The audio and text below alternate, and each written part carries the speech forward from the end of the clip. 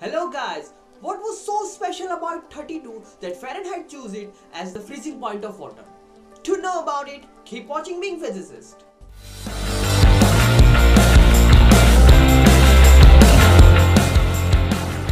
Fahrenheit proposed his temperature scale in 1724, basing it on two reference points. Number 1. Zero point was decided by placing the thermometer in the mixture of ice water and salt. The salt was ammonium chloride. not the common salt.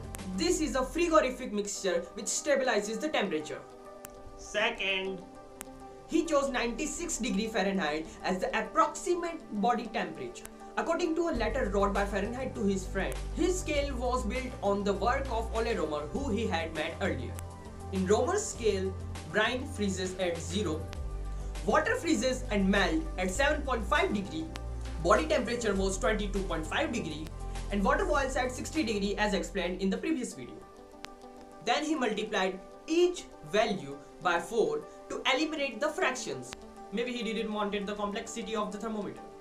This meant 30 degree as the freezing point of water and 90 degree as the approximate body temperature.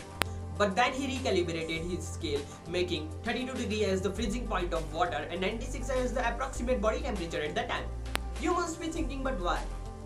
One possible reason to this could be that the number 32 and 64 which was the difference between the freezing point of water and the body temperature he could easily mark degree lines by just bisecting each line several times. After the death of Fahrenheit in 1736, scientists calibrated his scale by choosing the upper point as 212 degree as the boiling point of water. Which later made 96 degree Fahrenheit as the body temperature. Hello guys, thanks for watching the video. If you like the video, give a thumbs up, comment, comment here. Don't forget to subscribe and share it with others. Be curious, keep on asking questions. I hope the video was better than the previous one. Thanks for watching. Hey buddy, it wasn't. What the f